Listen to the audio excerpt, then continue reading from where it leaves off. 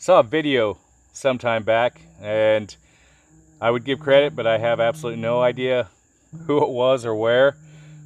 They were doing like camping from a thousand years ago, something along that line. They had a lot of the gear and I'm not sure if it's actually historical based, although I believe it was. They had something along this line. It was forged out of iron, just wrapped up like this, and it was a little shorter. It had a socket on there, I believe, with a wood handle.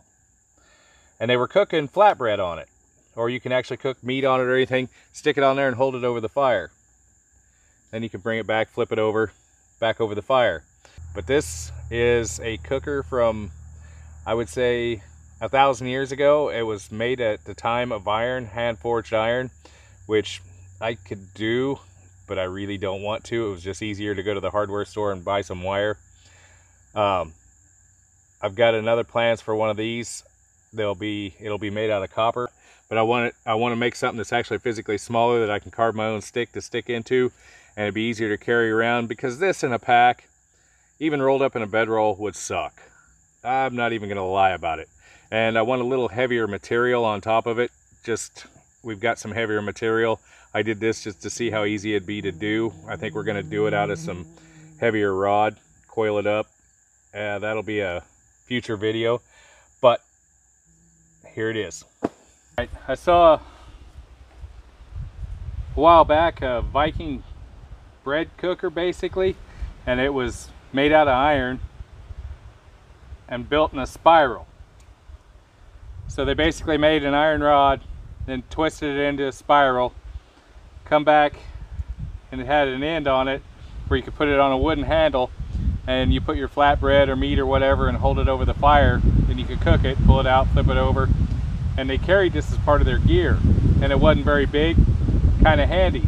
Well, I'm not going to make the iron rod finding iron rod's kind of a trick. What we have out here in the Midwest is a whole bunch of number nine wire. Granted, this is galvanized, but once I get it formed up, I'm gonna throw it in the fire, burn all the galvanizing off, wire brush it, heat it back up, and dip it in canola oil, which will give it a black finish that'll kind of make it non-stick. I may have to do that several times, but that's what it's going to end up being and you'll see it used in future videos. First off pliers and a bit of a hammer and just roll the number 9 wire around. Number 9 wire isn't overly hard to do but it can be a pain in the yak sometimes.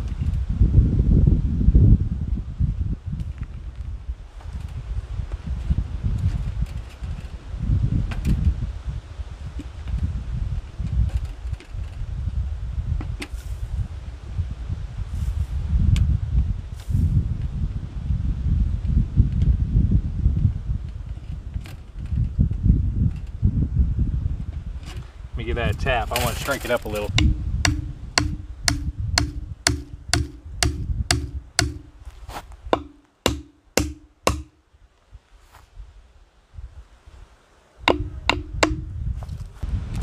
And as it follows it around, you keep one in between.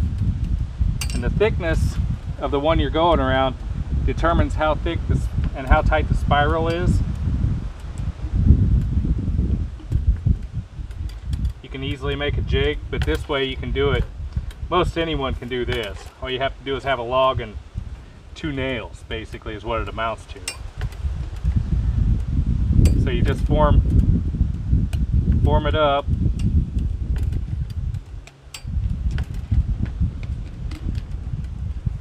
And as big as you want it.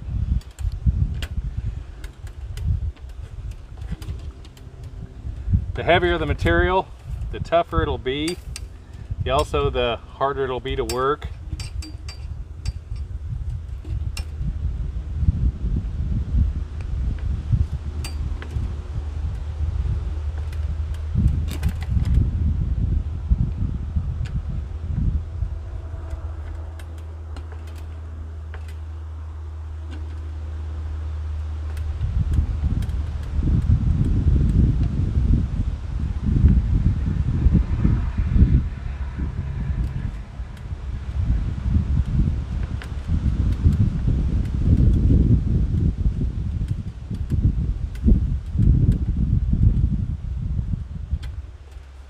Go back. When you have spots like that, you can bend it a little more. That's the nice thing about this wire.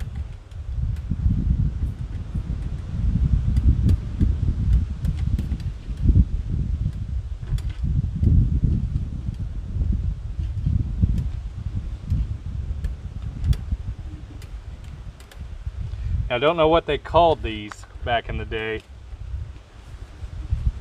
because I'm sure they had their own specific name. Couldn't tell you and I bet you I couldn't pronounce it if I knew it. But they're not hard to make. They're kind of fiddly as you can see. All right, once you got it to the size you want it,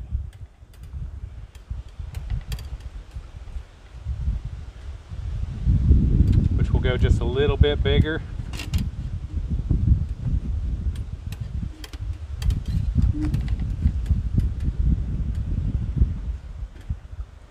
Each one of these will be individual.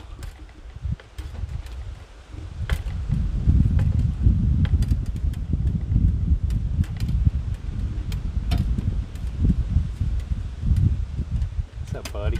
What's up, buddy? And when you get it to where you want it, size wise. Get hold of your wire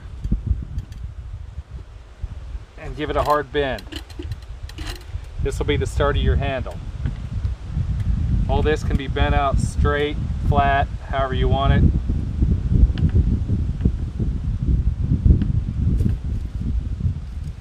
Okay, once you have your handle coming back,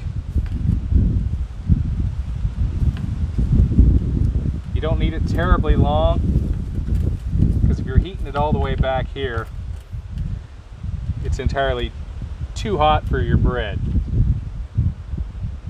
Okay.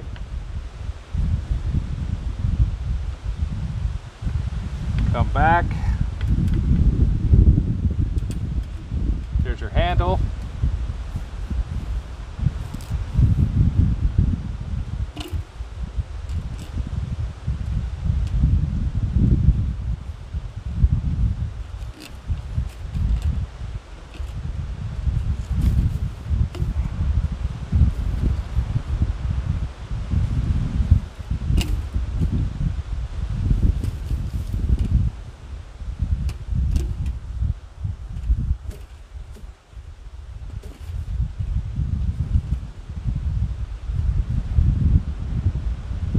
Like so. Okay. Once we have that, then we need to cut it. But first let me we'll work that down. Okay, then we're gonna bend it here. I'll probably cut it off right through here.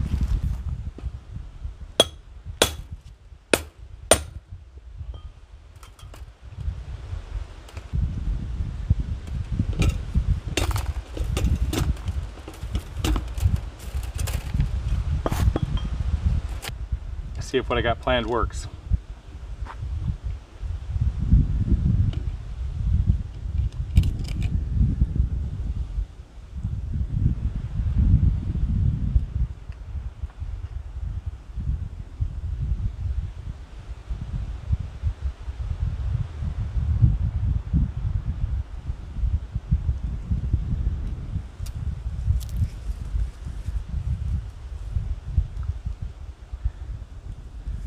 With, no, with the wire, the longer you can keep your ends, the easier it is to bend it over.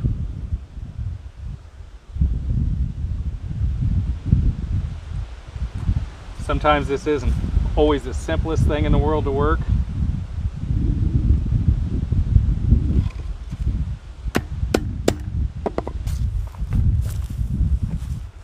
And this is kind of a rough rough deal. There's your handle. It's basically your Viking Age campfire grill, handheld. This here is in case you want to get it up over a rock or a log or something and set it down. You can set something on this end and actually have it over the fire where you can secure it. stick it in the ground, and actually have your fire under it and cook. You just got to be careful. Have something under here to keep it from twisting. But that's my idea of this. You can lop this off any length you want. Granted, if you built this out of, pulled out some rebar, some thin rod, eighth inch iron rod or something like that, well, yeah, eighth inch, maybe a little bit heavier, and run it on a forge, you could probably make one a little bit tougher. So for knocking one out, that's fairly quick. It'll work.